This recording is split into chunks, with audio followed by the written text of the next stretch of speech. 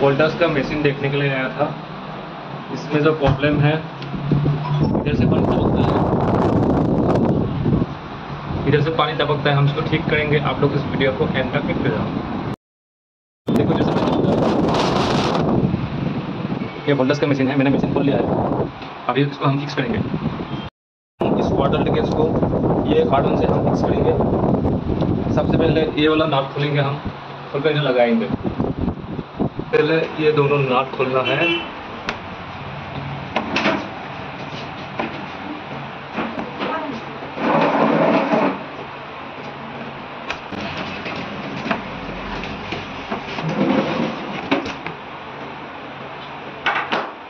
अभी इसको थोड़ा सा ऐसे करना है। हो गया। है।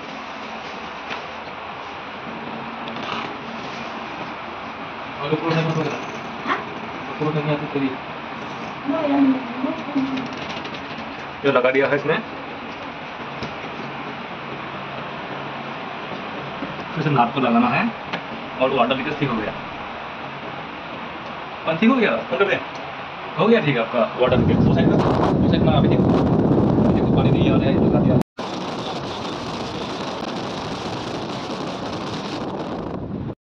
आज के लिए इतना ही। हम अगले दिन मिलेंगे। आप लोगों को जानकारी चाहिए तो मुझे कमेंट सेक्शन में पहुँच सकते हो।